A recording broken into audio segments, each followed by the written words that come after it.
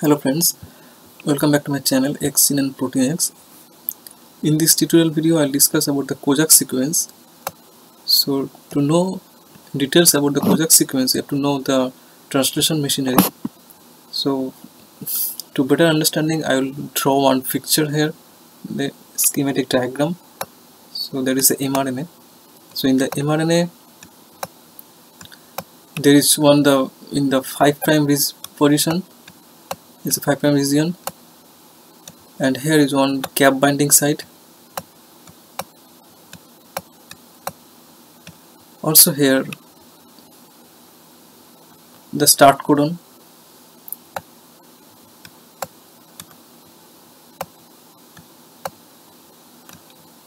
in the 3 prime position also there is one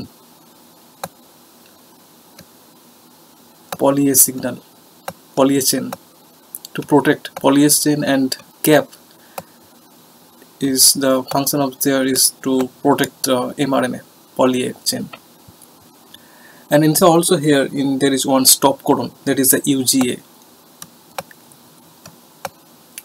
so in between uh, this is called this frame is called ORF open reading frame. So it must contain AUG and UGA alright so now here you have to you have to understand that the what is the function of the ribosome. So ribosome actually it's uh, this is the two bind two consist of two subunit. One is small subunit and another one is large subunit. And also it com is consists of rRNA and protein. So main function of the ribosome it, it binds uh, in the ribosome binding site and then it binds actually in the start codon. It scan the sequence and it bind in the start codon and then it initiate the translation. So this is the main job of the ribosome. So now question is that uh, the, the ribosome how it it bind and how it find how it recognize the start codon.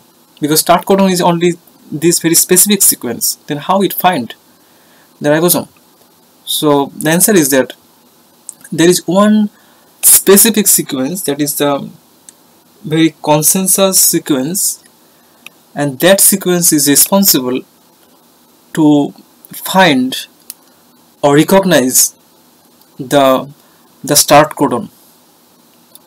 So that is that sequence is known as the Kozak sequence. That is little upstream of the from the start codon. So this is start codon is here. So upstream is means like in the 5 prime position little bit left side. So here is like and the sequence is the that sequence is ACC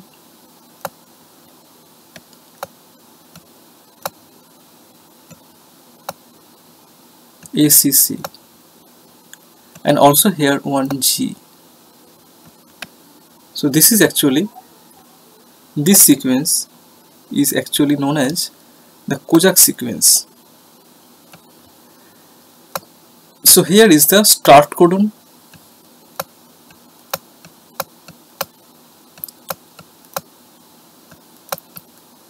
So you see here the, the start codon is in within the Kozak sequence.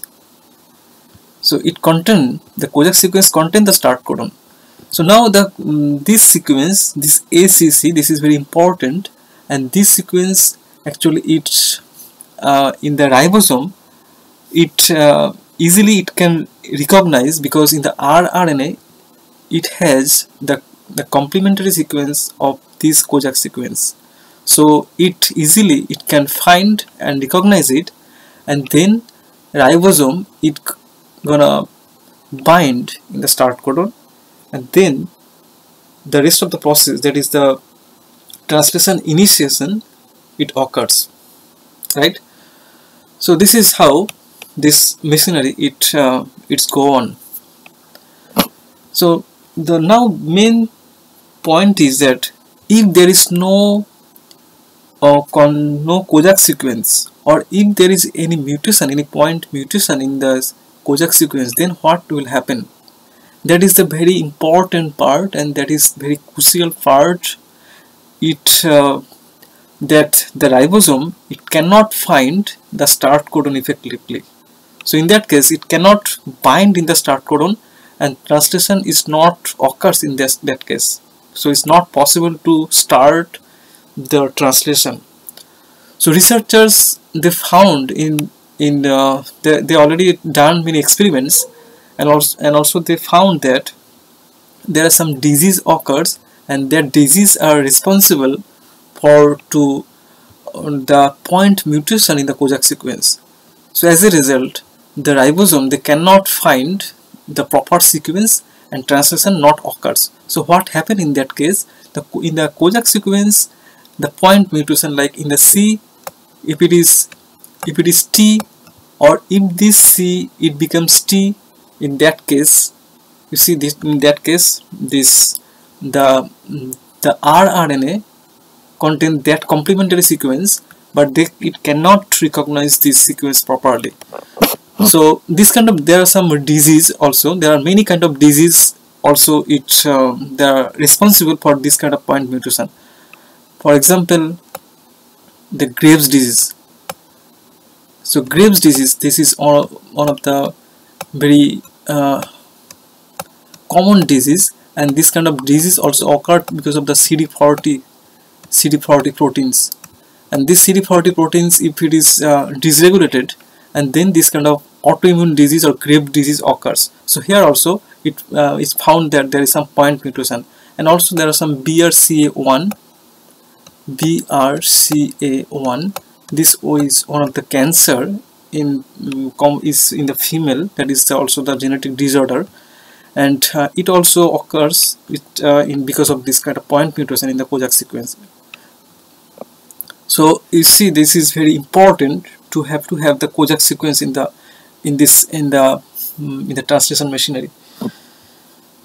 And also in uh, one important part also I would like to mention that if anybody want to um, express any protein or trans any protein in the mammalian system then they uh, it very much important to incorporate the Kozak sequence in the plasmid. Otherwise, the translation cannot be possible to start and you will get, you may or may not get the mm, desired protein and the concentration of the protein also it will be very low or maybe not translated in some cases.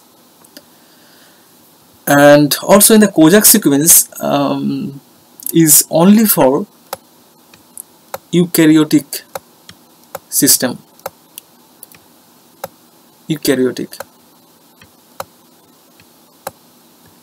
This is only for this is only for eukaryote but not in for the prokaryote. For the prokaryote there is another kind of sequence in the prokaryote there is another kind of sequence and that sequence is known as the Shine-Dalgarno sequence. But Shine-Dalgarno sequence is a little bit different mm, from the Kozak sequence. I'm not discussing about the Shine-Dalgarno sequence in this lecture so I'll gonna be discuss in my next video about the Shine-Dalgarno sequence. So this is it. So I hope this video will be helpful. If you like this video kindly hit the like button share it and subscribe my channel. Thanks guys